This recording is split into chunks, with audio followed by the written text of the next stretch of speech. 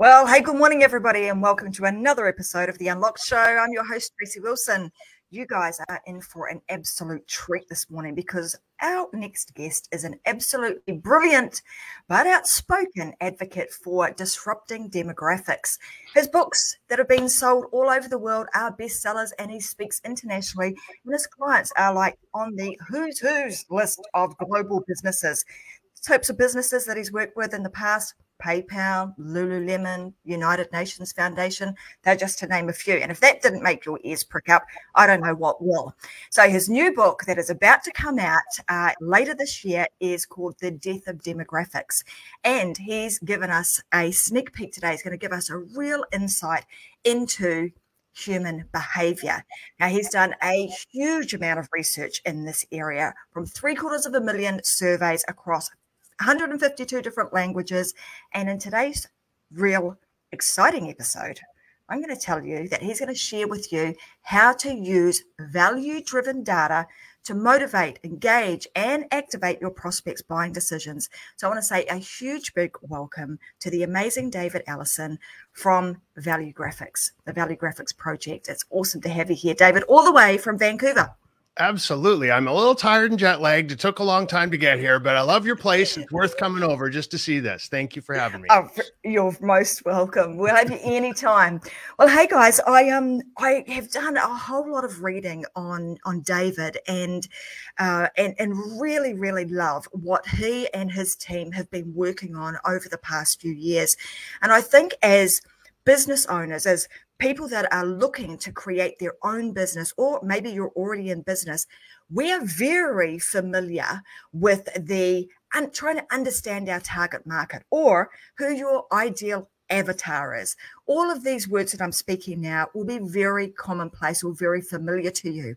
What I'm going to say is that David, in his outspoken manner, is going to really turn the, you know, to flip that on its head and give us some insights into why that is a broken strategy. Why the heck should we just be almost like turfing the old style and the old way that we looked at demographics and be looking at this new way? So I want to um, give David a bit of an opportunity to give us a bit of a backstory. I'm, I'm really intrigued, David, on how did you even get into this field? Because that is a heck of a lot of research, a heck of a lot of time and effort to go into, um, you know, to get to the point that you're at now. So, what really was the driving force behind that? Wow. Uh, no one has ever asked me that question before. Uh, and so that's really interesting. It's making me think about how much data we've worked with 750,000 surveys, as you mentioned, 152 different languages, 436 metrics, 180 mm. countries. Uh, it's the first global data set of what everybody on the planet's core values are. And I failed high school math. so if you'd asked me a little while ago how I got here, or like if you do you ever imagine yourself getting to this place, the answer would be like hard no. I can't balance my checkbook. So I don't know what I'm doing dealing with all this data right now. But the answer really is I spent a long time in marketing. Uh, mm. a long time. I'm, I was all about wanting to. I worked in ad agencies back when we had things called ad agencies. I went to school to study journalism, uh, and then I started working in an ad agency, and then another one, another one, another one, and eventually started my own. And we were focused in a, you know, the, the ad agency business goes through waves. And at the moment when I started my own, which is about, uh, oh gosh, now 17 years ago, I guess, ran it really successfully for 10 years. The big thing to do was to specialize. You wanted to be mm-hmm. a specialist. So we specialized in helping real estate developers who are building big condominium towers, resort communities, all over the world, they would come to us and say, Hey, David, uh, what should we call this building? And can we do some brochures and a presentation center and a website and billboards and television? Go, yeah, sure. So we were the we were the real estate people. Mm-hmm. Uh, and every single time we did this, we were good at it. We did it all over the world we started in the same way. And it's the same way all your listeners start everything that they're doing, whether they're already have a little business or they're starting to, it's growing and it's big, or they're just thinking about doing it. You start by trying to define your target audience. Mm. So we would sit down and say, okay, who's going to buy the condos in this tower? And we def- we we described them, and it was inevitably it was. I just ended up calling them all Bob and Sally because it was they're all you know retiring baby boomers who are downsizing, mm-hmm. empty nesters, selling their single family homes uh, in the in the suburbs and moving to a condominium so they could have a little extra money to get a vacation home somewhere else or whatever it is they're trying to do. And then we go and spend a million bucks. And about three years later, the cool thing about that industry, it's like a, everything has a beginning and a middle and an end. So about three years later, I'd be in a room with all the Bobs and Sallies, the shrimp on a stick, uh, a, mm-hmm. On a toothpick, uh, mm-hmm. and, a, and, a, glass of cheap uh, champagne, and looking around and going, you know, there's only about ten or fifteen percent of the people in the room were Bobs and Sally's. So who the hell are all the rest of you people? Why are you here? I didn't spend mm-hmm. a mm. dollar talking to you. I had I didn't put any money into your channels. I didn't do anything to deserve. Thank you for being here, but I I did not do anything to earn this purchase. That's a 10 or 15% success rate on a very large budget. Mm. So that just kept happening over and over and over and over again. And when I sold the company, I said, you know, I'm going to see if I can figure that out. And that's where it began, was trying to understand how do people make decisions? How mm. do people end up in that room after all?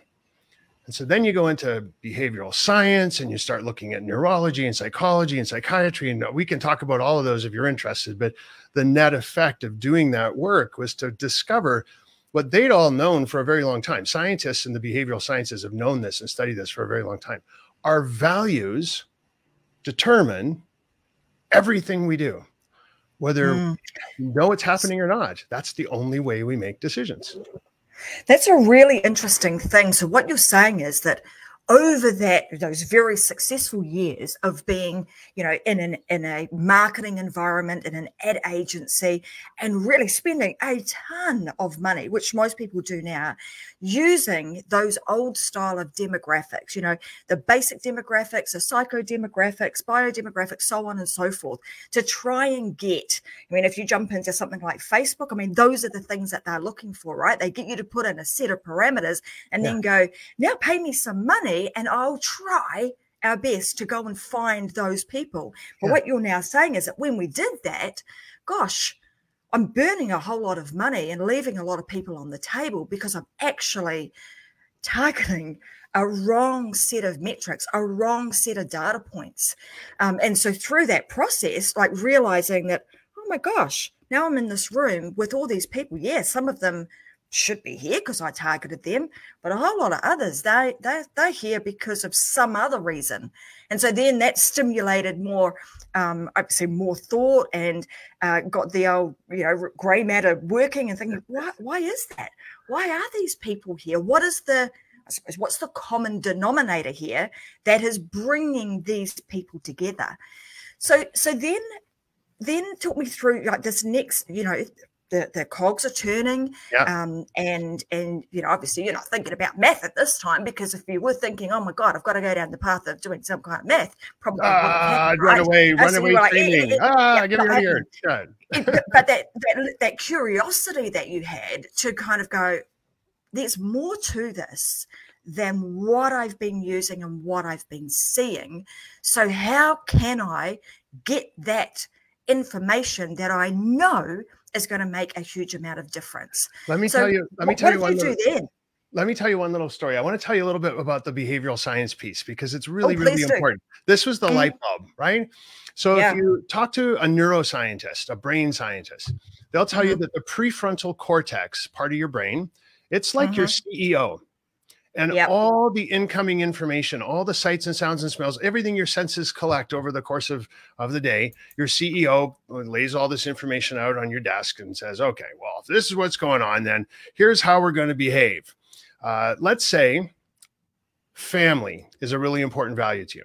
Your CEO only uses one set of one set of filters to make all these decisions, and, and that's your values. So if family is a very important uh, value and something comes along that might be good for your family, your CEO says, okay, here's what we're going to do. You're going to go get that thing. And when you get that thing, I'm going to reward you with something called happy. Mm-hmm. And something comes along that might be bad for your family.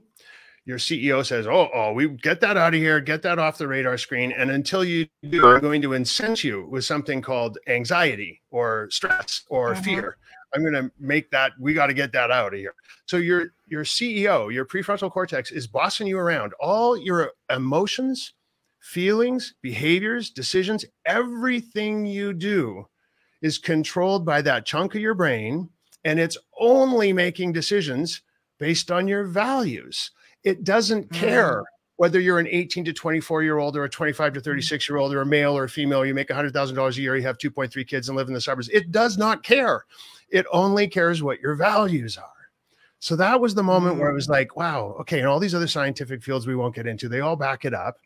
I thought, this is it. If we could figure out for a target audience of people that we want to communicate with, to, to engage them or motivate them, whatever word we want to use, if we could just figure out what their values are, we're golden. We just know that's what we have to mm. talk to them about.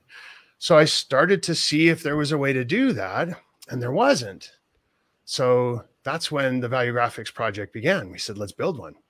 Let's make a way to yeah. understand the shared values of a group of people so that instead of talking to them like women who are make a hundred thousand dollars a year and have a college degree, let's talk to them like people who are mm. driven by ambition and family and environmentalism.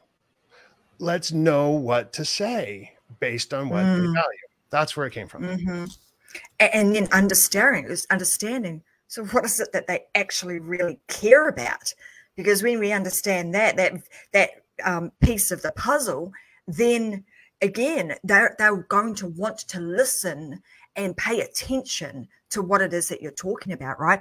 Quite it's a really fascinating thing because you know this this whole concept of understanding values even um, from a point of view of someone's success in their own life you know and often um, we try and create something in our life that we want. But if it's in direct conflict with our core values, we often never achieve that because, again, like you're saying, that prefrontal cortex kicks in and says, hmm, yeah, nah, that's not in alignment with what your core values are. So yeah, let's not go there. Let's um, let's just let's just kind of take you in a, in a different direction. And therefore, we see that as, oh my God, it's failure. I'm, I'm you know, I, I can't do this. I can't do that. It's not working. Beat thyself up. When in fact, it's just a disconnection uh, between you know what it is that you want and the value. So I just find this fascinating because it it you find it um, seated in, in not just in who our target audience is, but it's in thyself. Sure. And the the here's the thing: psychology is another one of these behavioral sciences, mm. right? And psychologists have, you know, not to knock psychology, but they've had it easy for a long time because they only got to deal with one person at a time. So they sit mm. down with mm. one person, they go, let's give you an MMPI inventory or a Myers Briggs test or one mm-hmm. of these mm-hmm. other, and we'll figure out what your values are and then you're going to lie down on my nice comfy couch couch over there and we're going to like make sure that your life and your values are in alignment. That's what the work of going to see your therapist is about. Yeah. and if your values and your life are not in alignment you're a misaligned unhappy person. And the more you can mm. get them in alignment the more psychologically stable and happy you are. So that's that's relatively easy to do compared to what we want to do which is mm. understand which values an entire group of people that we don't get to talk to, what ones do they have in common? And we want to know about that before we spend our money. Mm. We don't want to know about it after because sociologists, they study groups of people and why they behave, right? So after an election, they can go and talk to people who voted for this person versus that person and figure out what their values are and say, oh, okay, well, these people voted for that guy because of these values and they voted for this person over here because of these values. So that's that's afterwards. Still not what we need as marketers and business people. We need to know before they voted which way they're going to vote so that or or purchase or decide or you know I want product A or product B or service A or service B how do we know that before they do it? That's a whole mm. different level of analysis. And that's what we've made with the so the Valuegraphics project started to collect values from everybody on earth. And we now got to this point where we've hit three quarters of a million surveys we've done. And we can go into all kinds of detail around that. But basically, we've created a what's called a random stratified statistically representative sample. It's a fun thing to say after two martinis at a party. Random mm-hmm. stratified statistically representative sample. Uh, the cool kids call it a random StratStat rep. So a random StratStat rep, which is like a miniature Lego model of the world. And mm-hmm. it's accurate by age and income and country and population, all those kinds of things. So we have our own little model now.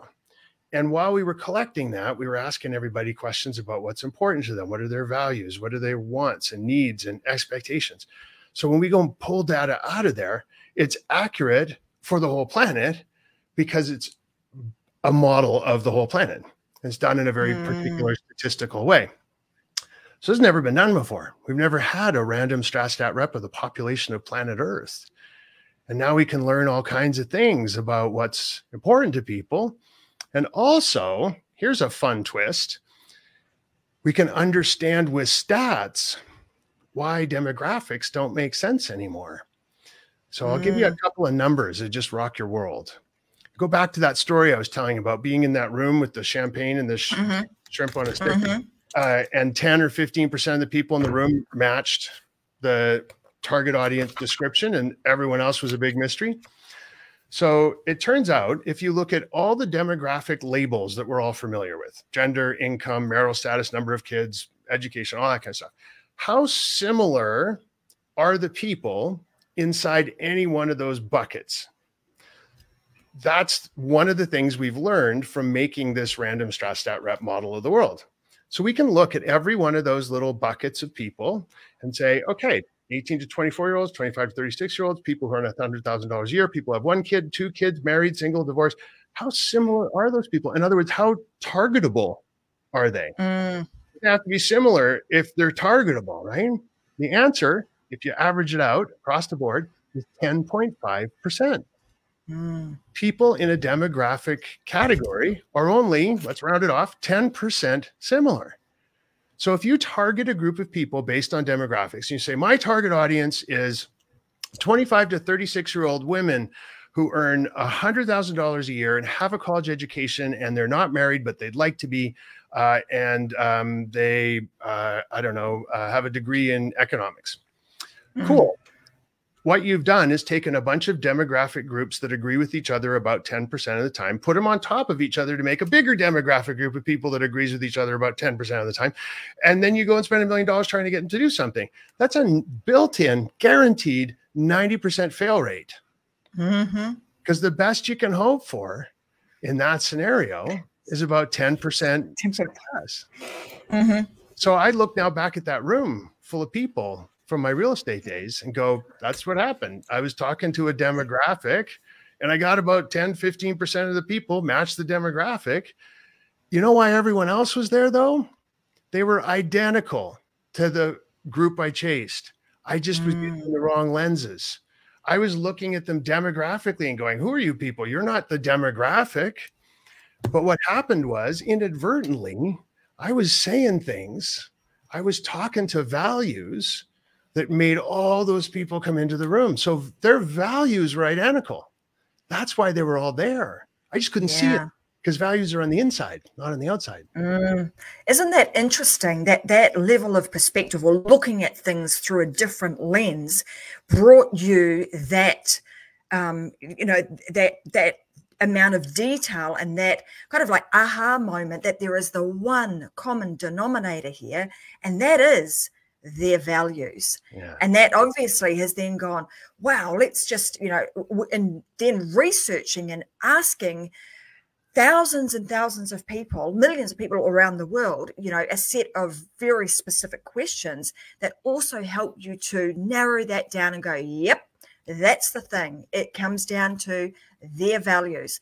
So I want to ask you this question because for, for so many decades, for such a long time, we have been kind of going down the path of old school demographics is what you'd call them now. Like they worked in the past but they don't work now.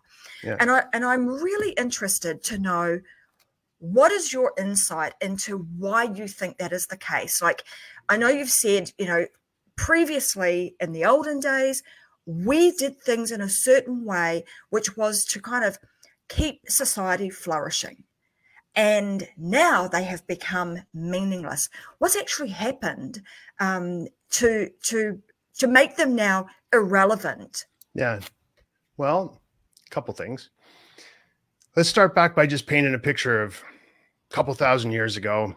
You're in a little little town in let's say um, uh, rural France somewhere, maybe even sooner than that. You're a, you're with your tribe. It's it's uh, back in the Neanderthal days. Well, women had to be making babies by the time they were 14, or they were not pulling their weight, and that meant we would did not have enough population for the next generation, and so the village down the street would be growing while ours was shrinking. So women, get out there and make mm-hmm. some babies. Men, if you're 12 or 13 years old and you don't know how to work a spear and a sword, and you're not out killing the bad guys and bringing home a bison for us to eat for dinner tonight, you're not doing your job. Because if you're not doing that, nobody else is going to do it, and you're not feeding us, and we're not going to be healthy. And old people, your job was to sit around and be wise and to tell everybody what the stories were that made the universe come together. And you had to be the ones who were artists and craftsmen.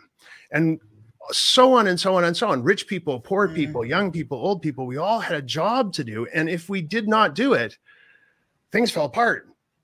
We wouldn't mm-hmm. survive. Our species would get eaten by the other guys. Uh, it was, it was, it was all about survival. And then along came this thing that changed all that called technology. Mm-hmm. As soon as technology came along, and think back to the early days, I mean, technology wasn't all about computer chips, right? Technology was even just simple things like a train. Once we were mobile and able to move from one part of the country to another, isn't before airplanes, we were able to start thinking about our lives based on what was available to us in a much broader sense. We didn't have to stay in our little village and just scrabble our lives together. Then you fast forward another few hundred years and new kinds of technologies are available. And today, you know, I'm just skipping over a millennia of technological development here.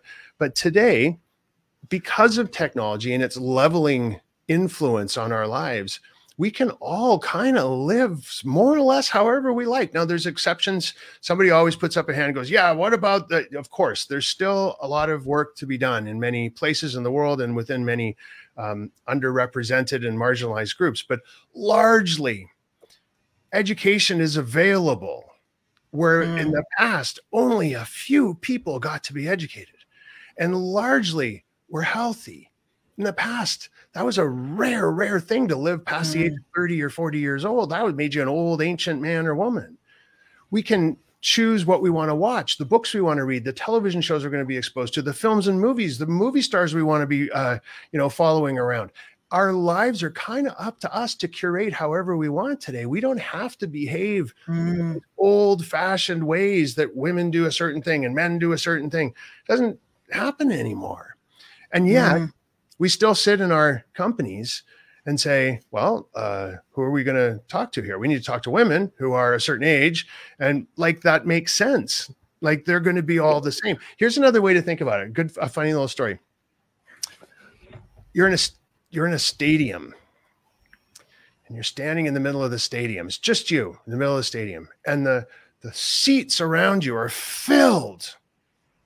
They're filled with women who are 18 to 24.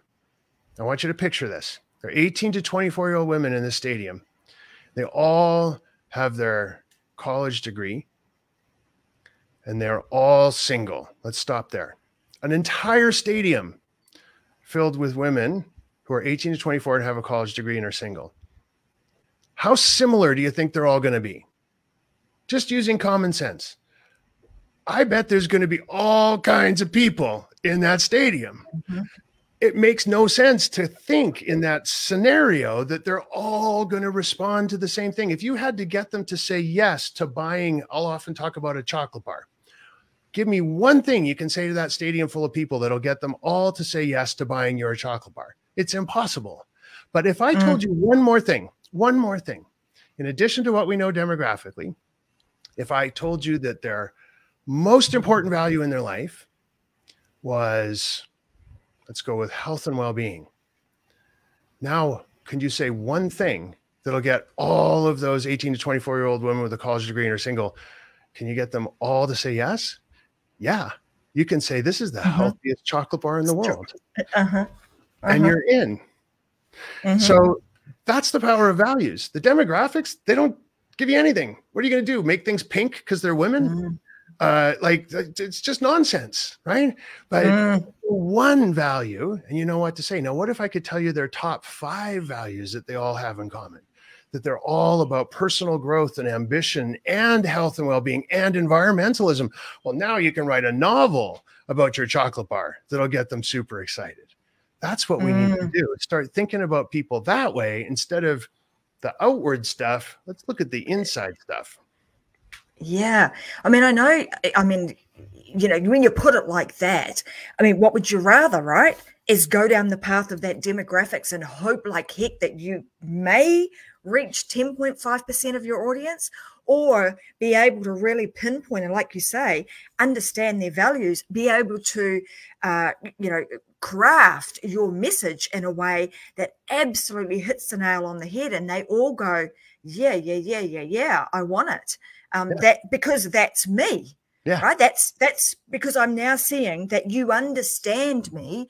I and you're talking about the things that i actually care about rather than just making me a number you know which is traditionally what what what, what has been done in the past. Yeah. We like to say this mm. is if you speak into someone's values you're speaking deep inside their heart like a trusted friend because the way mm. your friends talk to you, they know you. They're going to sit you down and yeah. go, listen, I've been meaning to say something about this. And they're going to know how to frame up a message to get you to go, oh my gosh, right.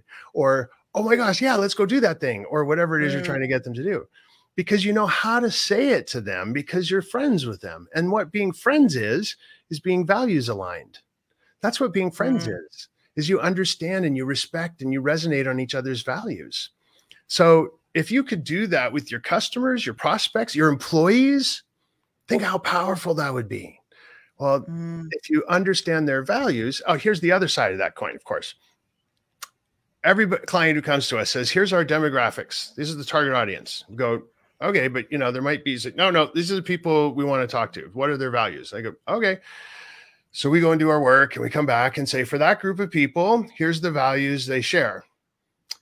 And by the way, there's all these other people over here and all these other people over here that don't fit your demographic that also share those values. So you're going to get them if you talk. And suddenly it's like, okay, well, mm. why am I so worried about sticking inside the boundaries? Why don't I just like let the values be the way people find me instead of me predetermining? There's so many products like the the founders sit down and say, I'm targeting women who are entrepreneurs and 18 to 24 years old. I keep picking on 18 mm. because it's easy to say. Uh, and then they find out when they launch their product that why why am I getting all these old people? Well, I'll, I'll take their money. I'm happy to. So instead of that, why don't you just say I'm targeting people who have this value, this value, and this value? You're going to get all kinds of ages and all kinds of uh, other sorts of demographics coming after you. You're going to find out you got a way bigger audience than you thought if you just put the mm-hmm. blinders on and say these are the only people I want. Mm.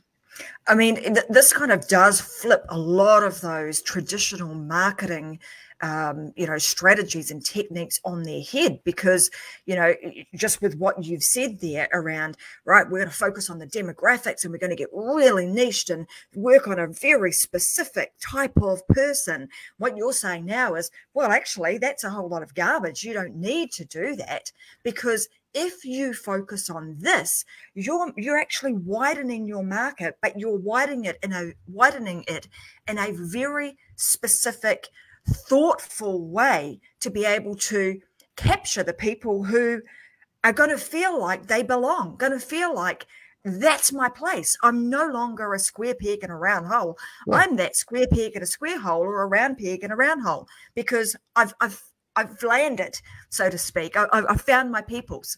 Yeah, yeah, I, I love mean, it. I remember one big uh, clothing manufacturer who came to us at one point mm. and said, we're really confused. We've spent all kinds of money coming up with our personas.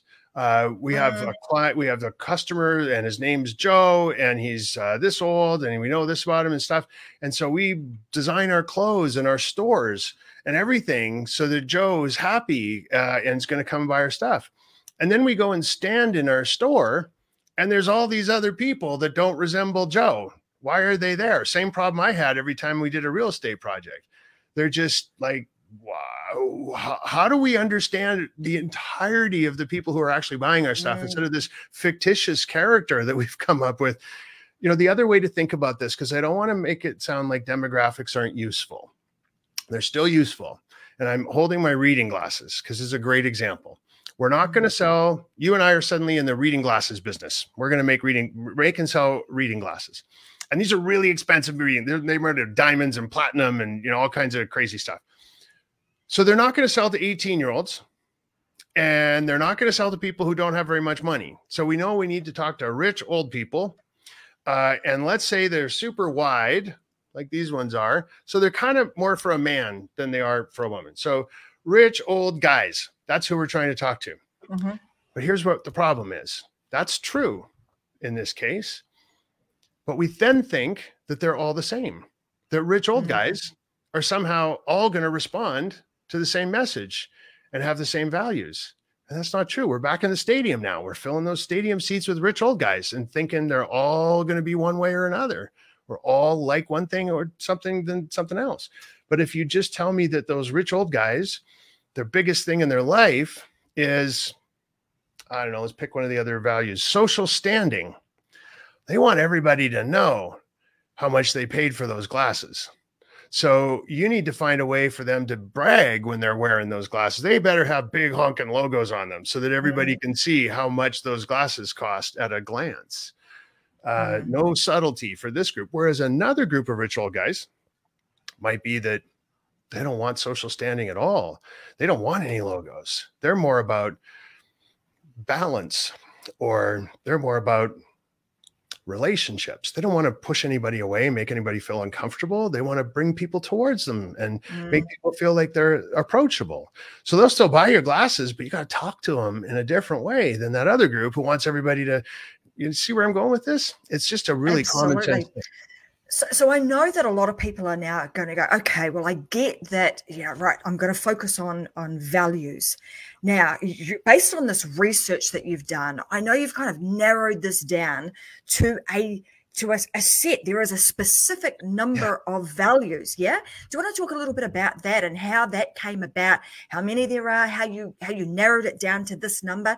And maybe for like, I'd be really interested to know because I know a lot of the audience is going to be, you know, um, American, Canadian, Australian, and New Zealand kind of based. Um, how does that play out in terms of, I suppose, you know, where where they live? Is is there any differences? What are some of the most interesting things you've found? oh my gosh, Tracy, there's like 10 questions. Sorry, I know there was. you know, I know. Look, I'm just giving you an opportunity. I know you're going to kind of go blah, blah, blah, blah, blah, blah. Yeah, okay, here we go. Those things, so you got it. uh, so there are 56 values. Mm-hmm. That's kind of cool to know. Uh, before we started this, we didn't know that. Uh, and mm. we didn't go out there with a preconceived notion of how many there would be. We let the survey responses identify how many there are. So it's kind of like yeah. um, you guys, you I uh, don't. Some parts of the world you do Halloween where your kids go out and you get a bag of candy and they come back at the end of the day all dressed up in costumes. Is that a is that a Oceania thing? Does it happen? Not so much. it, is. It is becoming a. Uh, okay, a, a big part of my childhood. Anybody in mm-hmm. Canada, the United States, every year at, at, Halloween, you're like out dressed like a ghost or a pirate or mm-hmm. whatever, mm-hmm. uh, and you go door to door, and people give you candy, and you come home with a big pillowcase. Generally, it was a mm-hmm. pillowcase. You come home with a pillowcase full of candy.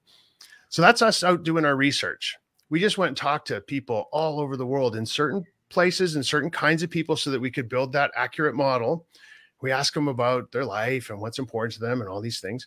They take all that data and we come home and just like kids at Halloween, you, you dump the bag of candy on the dining room table and you look and see what you got. And you go, wow, uh, there's a bunch of things here we could put in a group called chocolate. And there's a bunch of things here we could put in a group called uh, candy that's on a stick. And there's a bunch of things here that go in another group called single individual wrapped candies. So we didn't know what we were going to get. But once we looked mm. at it, we're like, wow, you know what? This group's up into 56 kinds of values that drive what people do. Now, let's put that number into context for a moment because it's kind of remarkable when you think about it. Um, that's 56 things that are responsible for everything that every human will ever do or say or feel or believe or think. It's the root cause of all human activity. This is like mm. the operating system for our species on this planet. And there's 88 keys on a piano.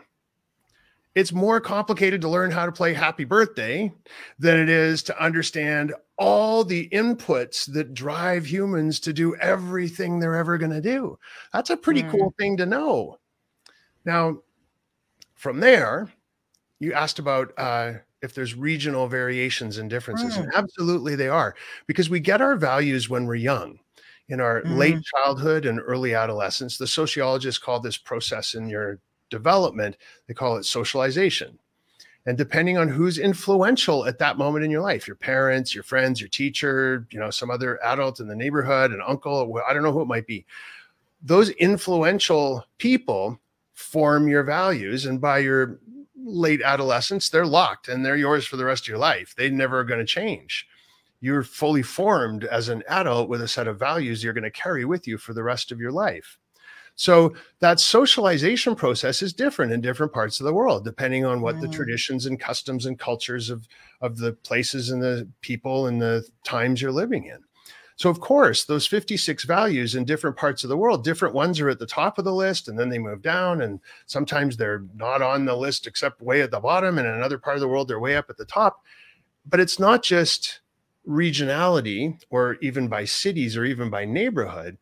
It's by brand and it's by hobby and it's by because remember values drive everything we do. So if you play soccer. The reason you've decided to play soccer or football, whatever it is you call it in your part of the world, uh, the reason you've decided to do that is because a set of values felt aligned around that. So you went and did that. So every tiny group that you can describe to me. You can say people who are going to this afternoon eat yogurt and then go for a walk. I can figure out why those people are eating yogurt and going for a walk because it's their values that made them choose that they're going to sit down and eat yogurt and then go for a walk. So that's a silly mm. case to, to, to make my point. So, yes, there are regional differences, there are city differences, there are differences right down to the level of every tiny little group you can possibly imagine. So let me give you a couple examples because you told me you had a lot of friends listening in uh, United States and Canada and a lot of friends mm-hmm. in Oceania, let's call it. So we do uh, our our the way we break up the world is in nine regions. One region is the U.S. and one region is Oceania. So I pulled a little bit of fun information here. I looked at the top ten most important values to these entire regions of the world. Um, and in Oceania, there's two that don't show up in the top 10 in the United States. And mm-hmm. similarly, there's two in the United States that don't show up in Oceania. So where do you want to start? Well, given that I'm, you know, from Oceania, I'm originally from New Zealand, now live in Australia. Let's let's go there. Okay, so the two that show up in your top ten that do not show up in the United States are community mm-hmm and a really lovely value called personal responsibility. Mm-hmm. Now, let me tell you about these people people who are driven by community. Now, think about the word community. Community can mean lots of different things to lots of different people, right? I live in Vancouver, so I'm part of that community. Uh, I go to a gym that's about six blocks away, and I go pretty much all the time. And so there's a bunch of guys I always see there. That's another community I'm part of. Um, we have a little uh, cottage up the coast, and there's a little town there. That's another community I'm part of. Lots of communities I'm part of. People who are put a lot of importance on the value of community will make all their decisions on how it's going to impact their communities mm-hmm. And which decision is going to give them more of a sense of community. So that's a driving force in your part of the world that does not exist in the top 10 in the United States. That's mm-hmm. overall, and there's certain people for whom it will, of course, but as an entire region, way more important where you are than in the United States. The other one. Mm-hmm. The By the way, that doesn't surprise me at all. Yeah, no, it sounds right. You, you Absolutely. Yeah. Absolutely.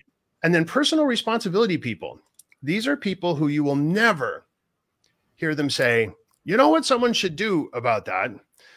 These are people who get up off the couch and go do that thing. Mm-hmm. These are people who want to know that their actions are responsible for making the needle move. So in a in a mm-hmm. business setting, you know, these are the people you want to say, "Hey, thank you for um, I don't know, coming to my store. Uh, would you like to do uh, look at things this way or look at things this way?"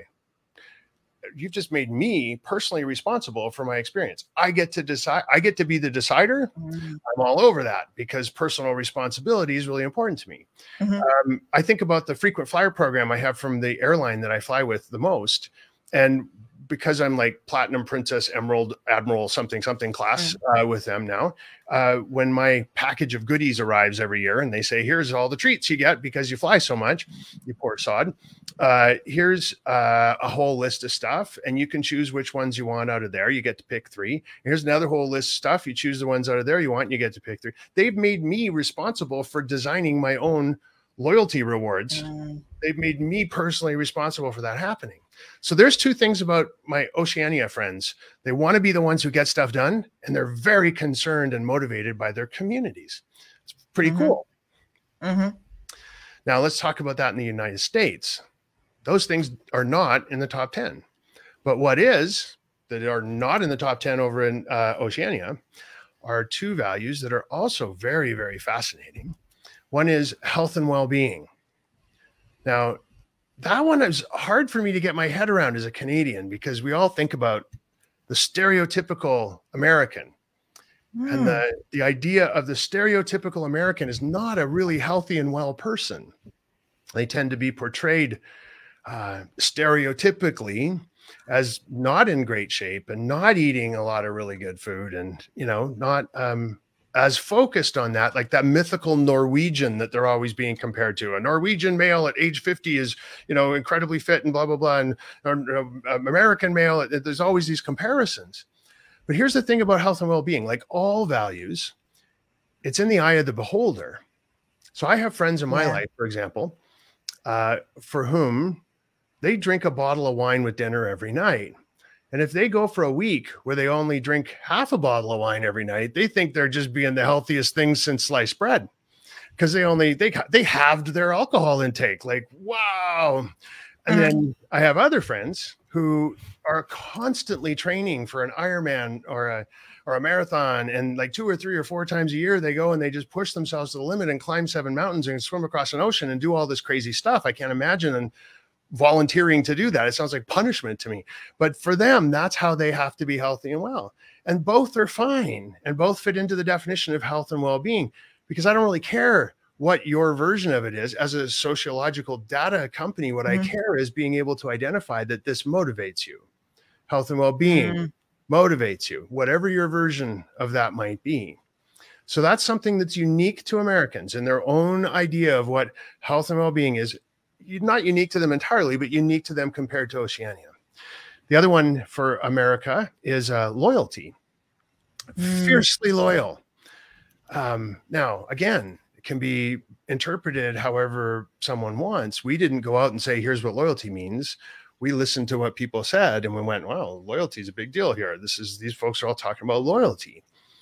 So, loyalty, I mean, I guess a little anecdote I have about that look at how fiercely right now Americans are being loyal to a political party. Mm. Either side of that debate, there's a fierce, overwhelming desire to remain loyal in the face of all kinds of evidence that might uh, make you think otherwise. And I'm not taking sides here, it's going on both sides. But the loyalty that these folks have makes it very difficult for them to switch sides or to change their mind. Mm. Uh, so there you go. There's a couple things that make Americans different than uh, my friends in Oceania. And you know, I, I, thinking about those things that you're you're talking about, and knowing, you know, spent a bit of time in in America, um, you've done a lot of research, got a lot of uh, clients that are in that space, and obviously coming from New Zealand and now living in Australia, you know, you're talking about those things. I can see how, you know, those those are almost indoctrinated into you as like you're talking about you know they become what you know from a child and then you then take those on as your values and that's what you live with um, yeah. as an adult you know that those are you know if and like you say if in America, typically speaking, the stereotype is, you know, not very healthy, um, don't eat well, you know, all of those sorts of things. So potentially that's, you know, they think that. So therefore, you know, I really need to focus on my health and well-being because typically we're, we're, we're not that type of person. Whereas New Zealand, if I think about New Zealand and Australia, we don't really like that's even though I think on the spectrum, Australia is also on um, quite high up in the unhealthy uh, realm of of uh, of population globally.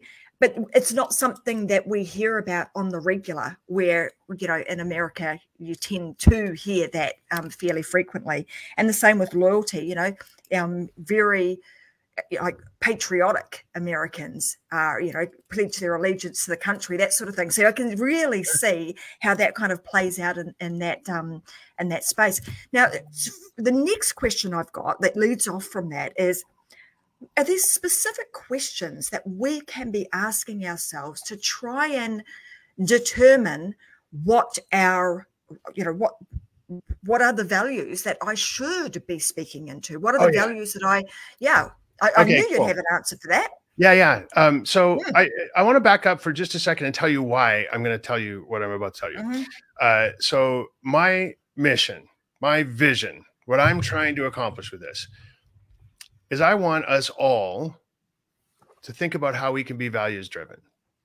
Mm. Now, for some big corporations, they need this in the form of really precise data. So one way we can get to a values driven view of each other and of the world around us is by you know commissioning my company and we can do a really bang up job with amazing academic accuracy and tell you exactly what your stakeholders your customers your prospects even your secretly between you and me i can tell you what your competitors customers are all about.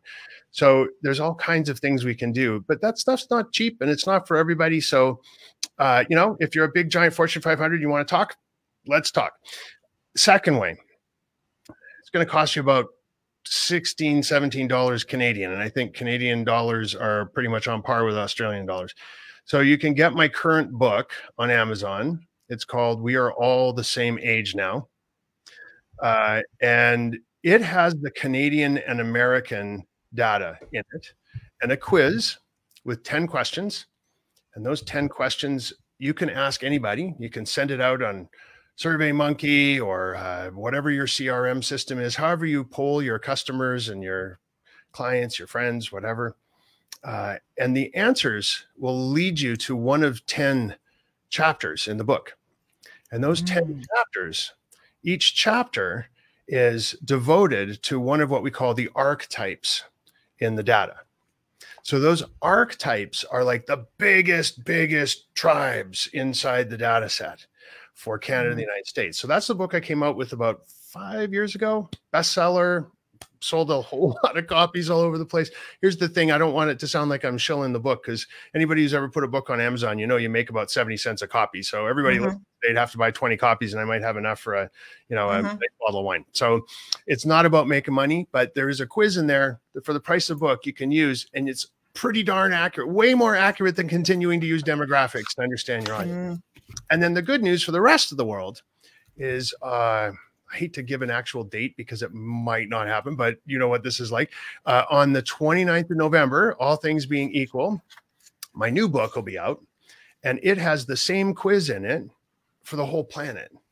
So anywhere in the mm-hmm. world, it's got to be 15 questions because there's a whole lot of different kinds of people when you get outside of Canada and the United States. So 15 questions you can send out to your database uh, you can use it if you're a small retailer, print them up as a little thing and put them in the bags with everything that you pack and that you hand to people. They come in your store, you're shipping it out online. Any way you can to collect responses. Offer people a little, you know what we do sometimes when we need to get people to respond to things. The smallest incentive will get people mm-hmm. to say mm. yes and fill out your form. We will often say, help us by filling out this thing. Uh, it's only a few questions, and you'll be entered for a chance to win a $50 Amazon gift card. They don't need the Amazon gift card. You need to buy one of those and give everybody a chance to win it. That's enough sometimes to get people to go, okay, sure, I'll fill out the little form. So those are those ways. Now here's the free way. Absolutely free. For eight years now, we've been refining what we call the three telltale questions. Mhm. You just ask people these three questions often enough, you're going to start to hear patterns in the responses. You can think about them as signals in the noise. These questions get to the root of why people do the things that they do. Now, it's not as accurate as the 10 questions or the 15 questions in the books, and it's certainly not as accurate as hiring us to do a custom study for you. But it's a great way to just start seeing the world with a values driven lens. So here's question one Why do you go to work every day? If you ask that of all kinds of people, like every time you meet someone, it's a good thing to ask at a dinner party or you go to a, a mixer or a fundraiser or a networking thing. Just say, Hey, why do you go to work? You'll start Mm. to hear patterns. And people will tell you it's because that's my creative outlet or it's my family or it gets me out of the house. Or, I mean, you'll start, everyone has a different way of talking about it, but the patterns will, of those themes are the values bubbling to the surface. So that's question one. Question two Why would you give away half of your lottery winnings? Now, this one's a little trickier. You got to probe sometimes because people say, Oh, I'd give it to the local football. I say, No, no, not who. Why would you give away half of your lottery winnings? Same thing. You're trying to get down to what's the motivation behind this big Mm. decision, right? Yeah. So those motivations as they start to come up, you listen to them, and that's values bubbling to the surface. And the third one's my favorite one. This one I frequently will ask my friends. Uh, we'll be sitting around a dinner table, a couple glasses of wine, throw this one out, and you really start to understand some people. Here you go. You get to write a letter to yourself from 10 years ago. What would you say and why? That's a fascinating thing to think about just yourself. If you can say, What would I say to myself from 10 years ago and why those things? You really start to understand what's motivating you today. So, those three questions. Now, let's say you're a small, uh, medium sized business. You can't afford to go hire a big research firm to do all this work for you. Just train your frontline staff, whoever's interacting with people, to, in their own words, ask those three questions as many times as possible. Make it easy for them to jo- jot down the responses. Take six months. Just keep asking. Keep asking. Uh, every time you're at a conference, every time you run into a bunch of people who are your customers, ask one or two or three of those questions. Keep writing them down eventually if you collect enough responses you're going to like the halloween candy you're going to be able to look at them all and go oh my gosh all my people are driven by personal growth and personal responsibility. And then Mm. you know what to talk about. You take your product your service your brand and you figure out a way to tell your story build your thing design your whatever so that it's all about how it's going to help you grow as a person and make you more personally responsible. That's it. Nice and simple Absolutely.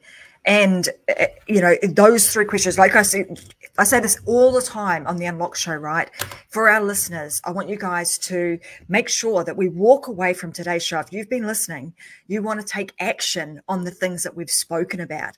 So, David's just given you a really simple, free way of being able to start the process of really understanding that customer at a deep level and understanding their values with those three questions. So if you haven't already written them down, I want you to pause this, go back, replay it, grab those questions that he's just rattled off for us, and embed them into the way in which you do things in your business to start gathering that data. Because, like he says, when you start doing it and you start seeing, ask enough people, you will start to create a your own database, your own patterns. You'll be able to pick up the different values and behaviors and a whole raft of other things that is going to give you some really valuable insight into who the people are that a you should care about and actually care about you you know and, And- that's makes and- a- and a, why? huge difference hey? Yeah and why? And why Because do they care?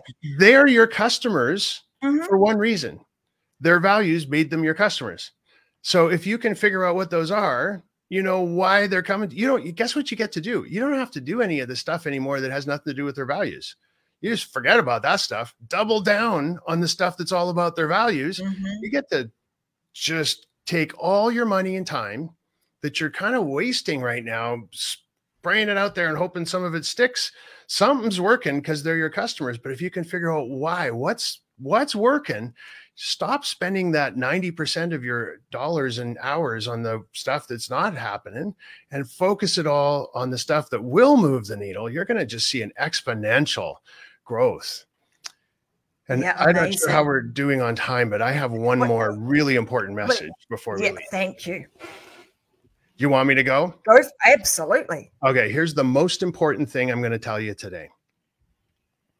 It's all good that we've got a better way to understand people and a better way to get them to to motivate them, to engage them, to activate them, influence them. That's great. It helps us all do a better job. But when we do that, we're part of something much, much bigger and much, much more important.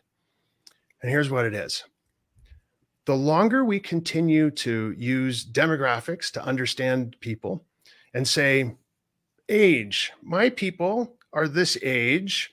So here's what we think we know about them. What you're doing is saying it's okay to think about people based on age. Mm.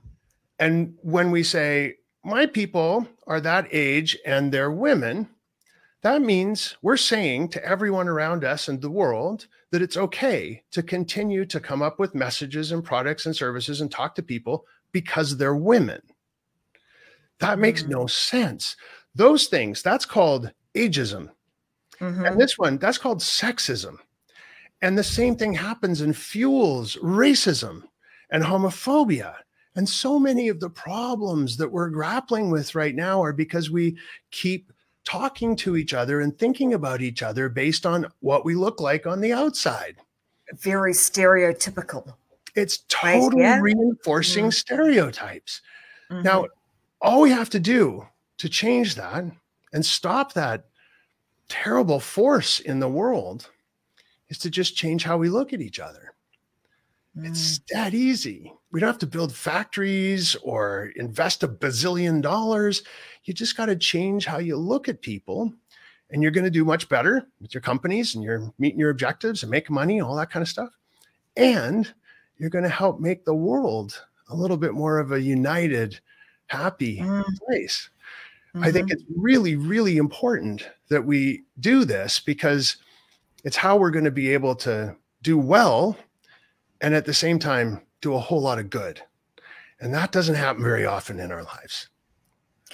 What a what a great opportunity we have right now to really shift the way in which we think about this to like you say to stop the division that is going on and really start to unite and and that just that alone is going to you know create win-win-win solutions and opportunities all over the globe by just shifting the way in which we think about the human race and how we how we how we start communicating with them Yes. So I, I, have absolutely loved this conversation, and and David and I sort of talked about this at the beginning. When we often have a bit of a chat before we jump uh, live on the show, and we knew that this was going to be one of those topics that we could just talk for hours and hours on. Um, but you know, we've we've got to cut it off somewhere, and um, when we're at the top of the hour, so it's highly likely that we'll have David back again because I think this is just such a fascinating topic that is relevant if you're starting out in business. You're just you know you're a solopreneur you're small right now but it's equally as important for those that have got large fortune 500 companies. If you're a massive company this is relevant. So you know switching our thought pattern from today forward from the old school demographics to now being you know the death of demographics which is the book that david's um, david's been speaking about that is due to come out on the 29th of november. So when it does i'll make sure that i pop that into the show notes so that you guys can be one of the first to go and grab a copy of that book because i have no doubt that there is going to be some really insightful um, information inside of that book that is really going to help you to 10x. Hey, I know he talks about sort of the 8x multiplier. We'll talk about that another time, you know, sort of how thinking like this really does stretch your budget and enables you to get a eight times multiplier on you know on your efforts so we'll talk about that perhaps in another episode but i know that you're going to understand that at a much deeper level if you go and purchase his book so i know you know he was very humble in saying this is not a about selling my book and it never is because as he said, you're not going to make, he's not going to make millions of dollars by selling his book. But what yeah. he is going to do is be able to impact your life and impact the lives of the other people in which you serve and you help from the moment forward that you read his book or the moment forward from you listening to today's episode. So I want to thank him very, very much for his wisdom, for his um, willingness to share this information with our audience. And I hope that David will be back on the Unlock Show again. If you guys have got any questions, because I'm sure you will have, because I, hmm. we've just flipped everything that you now thought was the way to go around demographics. We've flipped that on its head. So you probably, you know, got a whole lot of questions still floating around in your mind. I want you to do, there's a couple of things you can do. You can go and find the Facebook group called Success Success Secrets for Business, Family, and Life. It's on Facebook, it's free. Jump in there, you will see this episode. When you see this episode in there, I want you to write your questions in the comment section. You can do the same on YouTube and also on the podcast. If you're listening on the podcast, make sure that you reach out, go to tracymwilson.com, send me a message through uh, my website, and we'll be sure to make sure that we answer all of those questions. And like I said, if we're lucky enough to be able to uh, grab some more of, uh, of um, of David's time, then we'll have him back as a guest in a future episode. But I say thank you very much. It's been a fantastic conversation. I'm sure our listeners have got a lot of value uh, and insight in what you've spoken about today. Thanks for having me over. I have one last question for you. Go for it. I love your accent so much. I want to hear you say, ladies and gentlemen, David Allison. All righty, here we go. Ladies and gentlemen, David Allison. Listen there you go. It's like music. grab that. It's like music.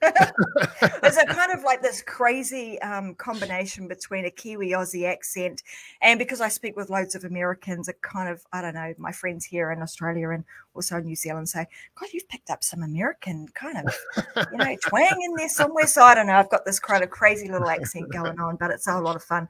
But anyway, guys, like I always say, you know, we go live with the Unlock Show every Wednesday and every Friday, 10 a.m. Brisbane time. So if you you want to learn more about how to unlock, you know, and and live a life that you are going to love across your business, your family, and your life, you want to tune into the Unlock Show because I have some amazing guests on here. And like I always say, go and live your life unlocked because there just is no no other way. Thanks, guys. See you again on another episode. Bye for now.